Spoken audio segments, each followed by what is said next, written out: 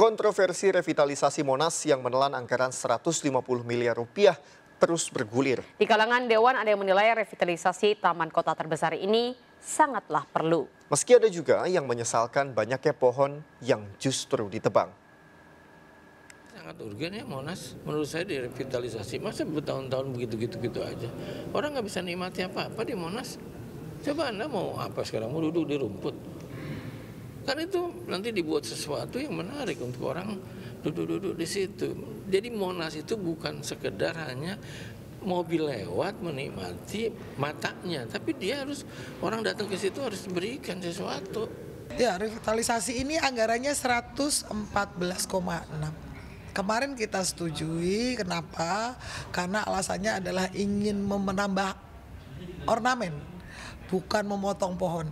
Ada rapat dengan Komisi D ini yang perlu diketahui oleh warga DKI Jakarta.